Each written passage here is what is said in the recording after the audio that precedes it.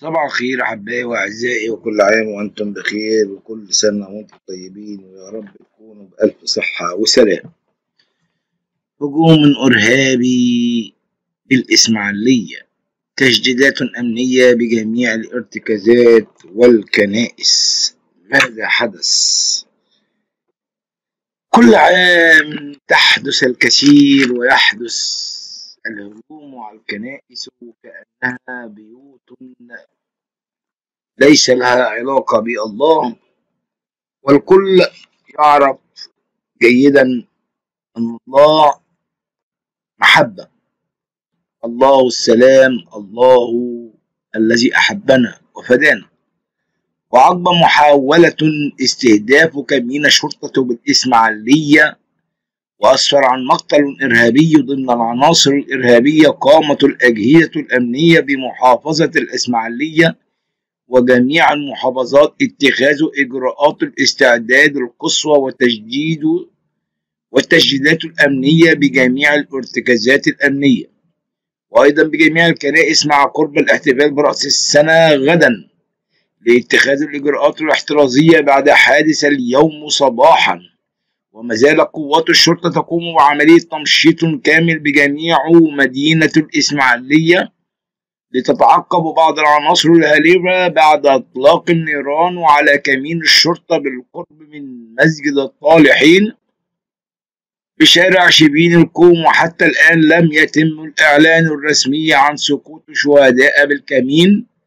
في ظل ما يتردد عن سقوط أحد الشهداء من أفراد الكمين فضلا عن مواطن قيل أنه صاحب كشك بالقرب من الكمين وما زالت وزارة الداخلية لم تعلن بيان رسمي بشأن التفاصيل الحادث وقال شهود عيان أن الشرطة قامت بإغلاق عدد من الطرق داخل المدينة لتعقب الهاربين وشهدت شوارع المدينة زحام شديد في ظل حالة الاستعدادات الأمنية عقب استهداف الكمين وتم زيادة التواجد الأمني على الكنائس وبعض الكمائن الهامة تحسبا لوجود عناصر أخرى. وكانت وزارة الداخلية أعلنت الاستعدادات الأمنية بجميع المحافظات لتأمين احتفالات رأس السنة وأعياد الميلاد المجيد وتم اتخاذ كافة الإجراءات الأمنية بجميع المديريات ويأتي استهداف اليوم على الكمين في وقت تم رفع عدد من الكمائن بمدينة العريش وفتح بعض الشوارع بعد تكثيف منابع الإرهاب.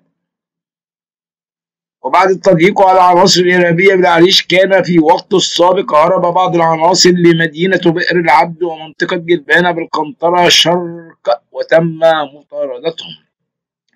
وبنفس التوقيت أيضا تفاصيل القبض على ثلاثة أشخاص لاتهامهم بسرقة كنيسة مارجرجس في قنا. تمكنت الأجهزة الأمنية في محافظة قنا من إلقاء القبض على ثلاثة أشخاص. تم اتهامهم بسرقة كنيسة مارجرجس الصغرى التي تقع داخل قرية بمهجورة التابعة إلى مركز نجع حمادي في شمال المحافظة. وبدأت تلك الواقعة عندما ورد إلى الأجهزة الأمنية في محافظة قنا إخطارا يفيد أنه تمت سرقة مجموعة من المعالق والأواني المصنوعة من الفضة وطقم نحاس ومبلغ مالي يقدر بنحو خمسة وعشرون ألف جنيه من كنيسة ماري جرجس الصغرى في قرية باجورة بمركز نجا حمادي. وسرعان ما تحركت قوات الأمن وانتقلت إلى محل ورد البلاغ حتى يتم إجراء الفحوصات والمعاينات اللازمة. للكشف عن ملابسات الحادث وكيف تمت سرقة الكنيسة والمتهمين بذلك.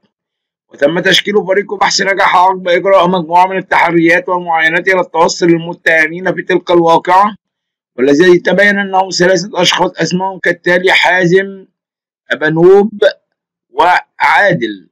وتبين من خلال الفحص أن المتهمين الثلاثة خططوا من أجل سرقة كنيسة ملك جرجس الصغرى في قرية باغورة التابعة إلى مركز نجا حمادي بمحافظة قنا حيث أنهم تسللوا وهم ملثمين وسرقوا مجموعة من المعالق والأواني المصنوعة من الفضة.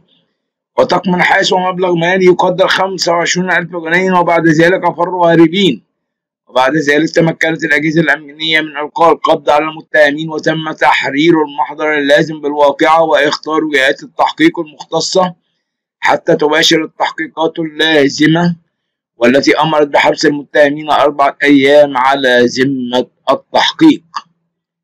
هنقول رحم الله كل المصريين رحمنا ويغفر لهم الله الذين قاموا بشركة هذه الكنيسة كما علمنا. حبوا بعضكم بعضا باركوا لعنيكم باركوا الذين يبغضونكم. أحبائي وأعزائي من قناتكم قناة الملكة والأمير إن عجبكم الفيديو أرجو الاشتراك في القناة ولكم مني كل الحب والتقدير والسلام الرب يكون معكم. مساء الخير أحبائي وأعزائي وكل عام وأنتم بخير. اليوم فنانة مسيحية مصرية. بالدعم متهرب من قضايا اغتصاب وتحرش. هجوم على فنانة بعد دعمها لسعد.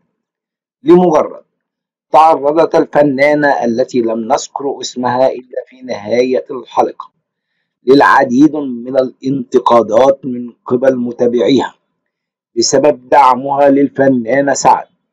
لمجرد بعد حفله الذي أقيم أمس الخميس في مدينة شرم الشيخ كما حرصت على الرد على بعض هؤلاء المنقضين وأعرب جمهور الفنانة عن غضبهم الشديد من دعمها لسعد لمجرد ومن مضمون الفيديو الذي جمعهما ببعضهما والذي رأى البعض أنه غير لائق ومن أمثلة تعليقاتهم ما ننساش نعمل انفولو للفنانة عشان ما نزعجهاش ولا تزعجنا وجاء رد الفنانة على هذا التعليق كالآتي اللي يعجب حضرتك لو طريقة فهمك للحياة بالطريقة دي أعتقد فعلا unfollow يكون ألطف. وبالعكس الحاجات اللي بتعملوها دي هتنجحوا وهتشهروا أكتر لأنكم عمركم ما هتشيلوا حب الناس. وبالنيابة عنه بشكركم يلا unfollow كما جاء تعليق من متابع آخر مستنكرا دعم هذه الفنانة المسيحية المسلمة. أسف المسيحية المصرية. لسعد لمجرد المتهم في عدة قضايا اغتصاب وتحرش.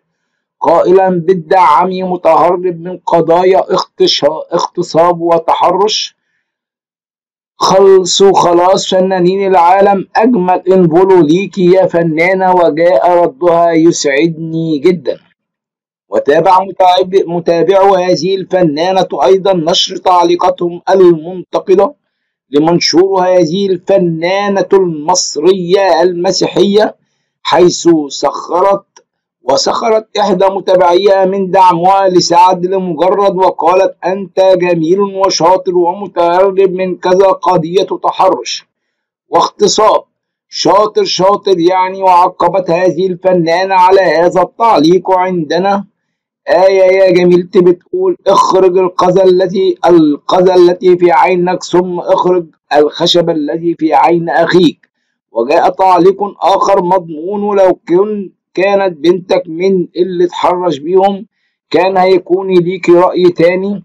من جانبها نشرت هذه الفنانة المصرية المسيحية فيديو قصير يجمعهم وأولادها بسعد لمجرد في كواليس حفلة بمدينة شرم الشيخ عبر حسابها الرسمي على موقع انستجرام وعلقت عليه قائلا أقوى حفلة وأجمل دعاية لشرم الشيخ. من أقوى وأحب المطربين لقلبي الرائع سعد لمجرد المطرب العالمي نورت مصر وكلنا في انتظار المزيد من الحفلات في وطنك الثاني. لأن لك جمهور كبير منتظرك ومنتظر المزيد من الحفلات ومزيد من النجاح لأبناء المغرب. يا ترى من هي هذه الفنانة المسيحية التي تدعم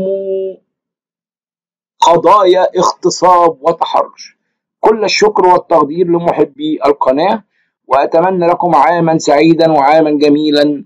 أنتظر منكم كل ما هو جميل وكل ما هو شيق. شكرا لكم أحبائي وأعزائي ولكم مني كل الحب والتقدير وسلام الرب يكون معكم. أمين. مع قناتكم قناة